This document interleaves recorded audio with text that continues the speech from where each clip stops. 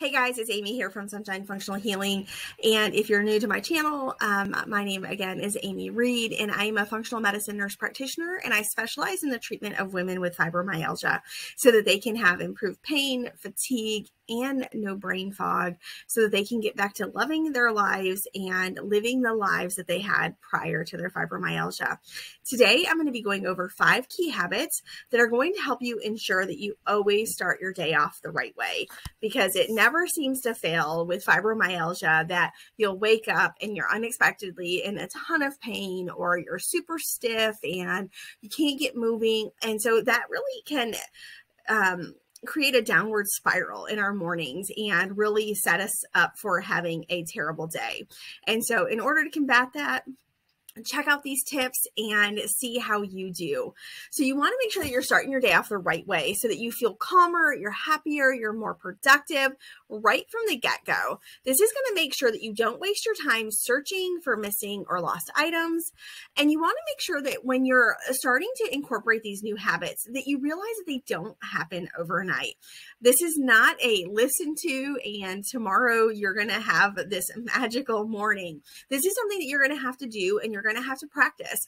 Um, implementing habits um, so that they become a, a, lifelong ingrained habit in your brain takes at least 21 days. That's the minimum it takes for people to create this habit that they can stick to day after day. So, if you want to have your normal routine be a magnificent morning, start working on these tips right away. And within 30 days, you are going to have some brand new habits. So, first habit is you want to tidy up the night before. So, we've all been there where we feel too tired to load the dishwasher at night or clean off the counters or vacuum the family room but spending a little time every single evening tidying up and cleaning um, away the dirt, the clutter, the debris from the day is really going to help make sure that you save time in the long run. And especially if you have children, this is a great habit to get into is cleaning up the night before. Um, and I know on a day that you're having terrible pain and things like that, it may get into the way of it. Um, but try to get into the habit that um, on a routine daily basis that you're tidying up the night before, night before, because you can make this into a fun routine. You can involve all the family. You can set the timer for 15 minutes and zip through these chores. And of course, if you're on your own, own, you may take you a little bit longer um, to get through your list, but create a routine. You'll get good at it, you'll get faster at it, and it will be easier because you're doing it all the time. And the next tip is to prepare your lunches in advance. So if you're somebody who packs your lunch every day, your children take a home lunch, something like that, make sure you're doing it the night before. And this is especially helpful if you're dieting or if you have limited options for food. Like I am dairy and gluten free um, because I have sensitivities to both of those. Um, and when I eat them, I have terrible fibromyalgia symptoms. So I stay away from those foods. And so I can't always eat when I'm out. So I pack my food if I'm going anywhere. Um, so prep your food the night before. Um, food preparation takes time and it isn't fun when you're in a rush to get ready for work. So spending time preparing lunches for the family the night before is going to make sure that everybody is getting something really nutritious for lunch and it's going to save you time and it's going to save you money. Plan ahead so that you know exactly what everyone is having each day that week. Um, and this is going to make sure that you um, have everything that you need in the house so that there aren't any last minute panics. So for me and my family, I like to do it on Sundays. Um, I think about what do we have in the house, what groceries do we have, what are we going to eat for the week, and we plan everything out. Now, I, I do admit that I do prep a little bit ahead of time so that I have the right food in the house, um, so that when I'm getting ready to make my list. So I kind of do like a, um, I have like a 14 day um, routine that I do for groceries and for food that we eat. And that's not to say that we don't mix it up and have different things um, here and there, but typically we have these staple 14 meals that we can get through any two week period of time breakfast, lunch, and dinner with everything in the house. Um, so that for me has been really, really helpful. Um, and then you want to make sure you're getting your clothes ready the night before so that in the morning that that's not one thing sitting there distracting you. So, how much time do you spend um, trying to pick out your clothes and um, morning of and, and trying to figure out what you're going to wear for the day? It's probably too much time unless you're like me um, in the past where I was able to wear scrubs every day. I didn't have to think about it. You know, I had to think about what socks I was going to put on, my shoes, everything else I needed was at work. Um, but most people don't have that luxury. And so you have to think about what you're going to wear. And um, you also want to think about what your kids are going to wear. Are their clothes clean? Do they have a recital? Do they have hockey practice? You know, what do they have going on and what do they need? Get it ready the night before this is sure beats getting everything ready the, um, the morning of. Um, so make sure you get the entire outfit out there.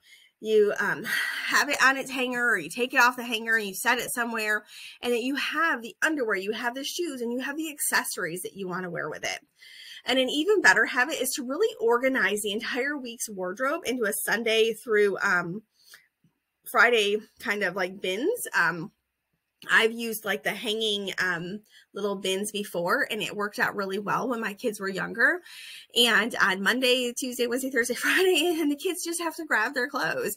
So on Sunday, we'd spend, you know, half an hour picking through the clothes. The kids would put it in there, and then I go back and double check to make sure that they have everything that they really do need.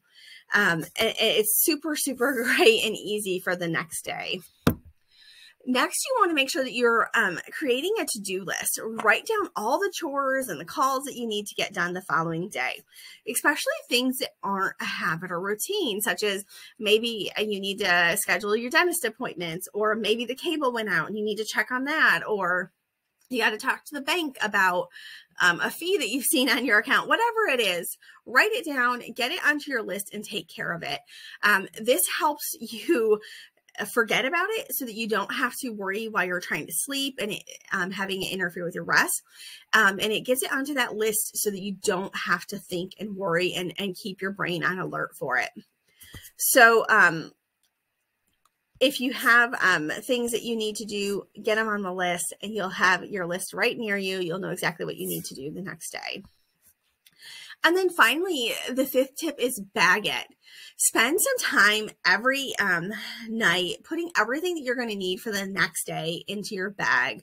You won't need your laptop. You're not going to need like an iPad overnight. So putting it in your bag, um, just in case, um, right before you get ready for bed is going to help make sure that you don't forget it the next day. So any work documents or school books um, should be put into the bag so that you don't forget it. So if your children have gym class or football or another school activity, make sure they have everything necessary and ready and into a bag um, or into their book bag for school the next day so that they have everything that they need. And in the morning, nobody is searching around for items. Starting your day every day feeling positive and organized is really um, important and it really does have a huge impact on the rest of your day. So, starting out chaotic um, is really difficult to recover from. So, if you already are chancing having pain or fatigue, or you know your IBS is acting up, whatever the case is, and you know you deal with these things on a regular basis, try these habits, try setting yourself up for better success. Um, and you are going to start feeling better. Your household will feel better, and mornings will just be better for you. Um, if you like this video, if you found it helpful, make sure you like it. If you haven't subscribed yet, make sure you subscribe to my channel so that you're alerted. I put out new videos every Tuesday. And if you have any questions, comments, or concerns, don't hesitate to reach out. I'll talk to you guys soon. Bye.